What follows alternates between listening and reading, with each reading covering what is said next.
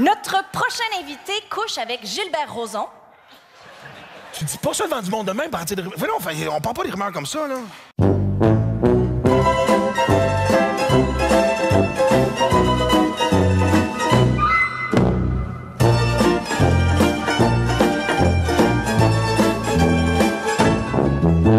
Bonsoir. Euh, en passant, c'est pas vrai. J'ai pas couché avec Gilbert Rozon, OK? Euh, il s'est essayé, mais on a une entente hors cours. Bon.